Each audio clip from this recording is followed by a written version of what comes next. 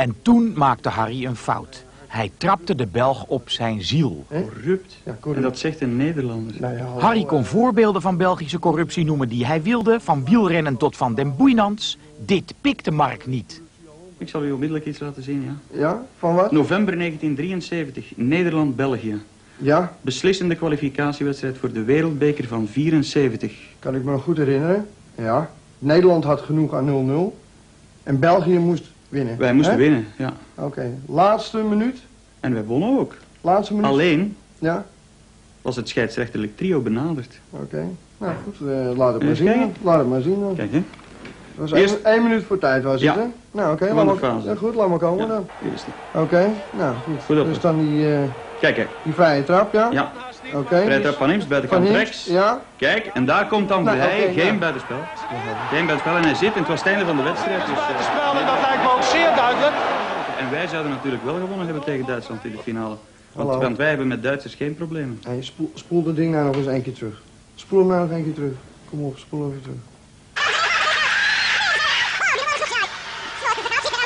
Goed, komt hij, ja? Je weet op Nou, welk moment je moet letten, hè? Dus Ja. op het moment dat de bal vertrekt, hè? Ja.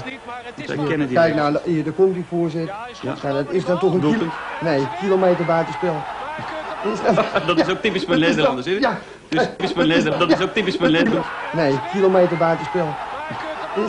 Dat... Is ook typisch voor Nederlanders, hè? Ja. Dus de werkelijkheid niet onder ogen durven te zien. Hey, weet je wat ik ga doen? Ik neem die band mee en ik ga voor eens en voor altijd laten uitzoeken of het een doelpunt is, ja of nee.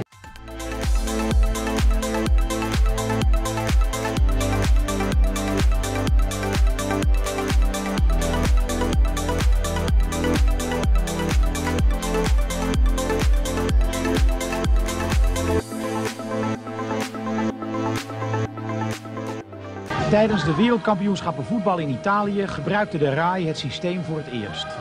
Een in Italië ontwikkeld computerprogramma dat de juistheid van scheidsrechtelijke beslissingen met een zekerheid van 100% kan aanvechten of goedkeuren.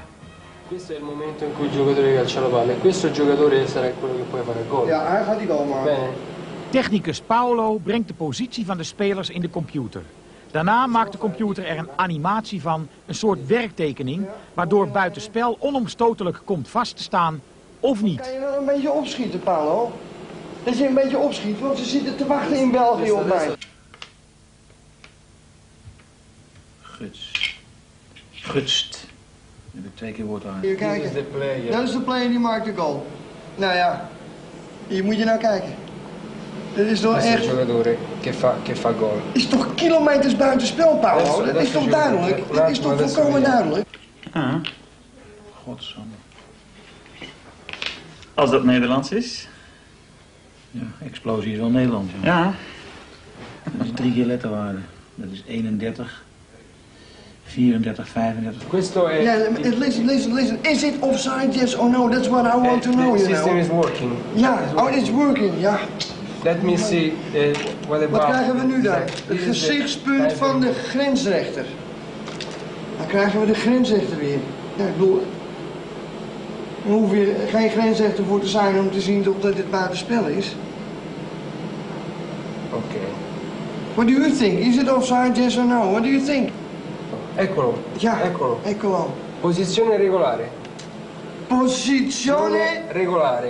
Dit is het Questo- moment dat de bal wordt gespeeld. Esattamente.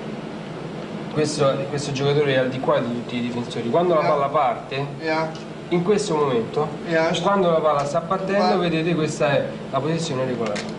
La posizione è regolare, il gol è regolare. Ja, dan is het een doelpunt. Nou ja, ik, ik word er niet goed van. Mat. Oké. Nou, hey, kom op, we gaan weg hier. Hey, eh, Kom op, wegwezen hier, aan, alsjeblieft. Hier heb jij je band weer. En? Wat zeggen ze? Aan. Ja, het is een doelpunt, ja. Ja, tuurlijk. Dat weten wij hier al 19 jaar. Ja, ja, nee, we beginnen nog een keer. Nee, dat is ongeveer de intellectuele voorsprong van België op Nederland. 19 jaar. Gefeliciteerd ermee dan. Nou. En dat komt ervan als je scheidsrechters omkoopt. Oh, Het ja. komt toch vroeg of laat uit. Oh, ja, ja, ja, ja. ja. Nou, kom op, we gaan weg hier. Oké, Hey, ja, kom rustig aan. Eh, Mark, hartstikke bedankt. Klote Belgen. Grote Belgen. Ja, joh. Wij hebben die scheidsrechter omgekocht. Daar kunnen die Belgen niks aan doen Ja, natuurlijk. nou, ik kan je wel zeggen dat het hele historisch besef van mij staat helemaal op zijn kop. Jij hebt geen historisch Ja, besef. alles is voor niks geweest. Alles is zinloos. Ja, zo'n Jan Mulder. Jan Mulder hoeft geen ruzie te maken met Michels dat hij niet mee mocht naar Duitsland. Want we mochten helemaal niet naar Duitsland. Nee. Nee, Johan Cruijff hoeft niet met die naakte wijven in het zwembad te gaan liggen in heel, heel troep. Ja. Hij had Danny ook niet kwaad hoeven te worden. Nee. Ja, en dan die frustratie van zo'n verloren finale. Ja. Ja, had allemaal bespaard kunnen blijven. Het is allemaal zinloos. En wat leert Ja. jou dit? Dat alles zinloos is. Niet Dat filosofisch. niks zin heeft Niet in het leven. filosofisch. Ja, dan word ik gek van. Ja, zo is het.